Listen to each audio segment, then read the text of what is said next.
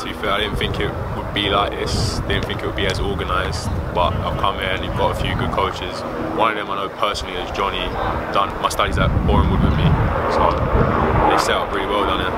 Well, we played these lot in pre-season while I was at Bournemouth, and then I saw they were quite good. So we only beat them 2 0 but we started off, you know, they pressured us, they should have scored. So being here and joining on is good. I wouldn't really improve anything else. It's just like games are games, whatever happens in a match happens, but the players we've got are very good, so we can we go on to win some, we go on to lose some. I get along a lot with Rems, uh, who plays on the right side to me. He's, him and Scotty, we get along very well, and to sort out, to go for a free at the back, and it's new to all of us, we get on very well. We won one game and drew one, so we're conceding a lot less than what these lot did last year, so it's not too bad.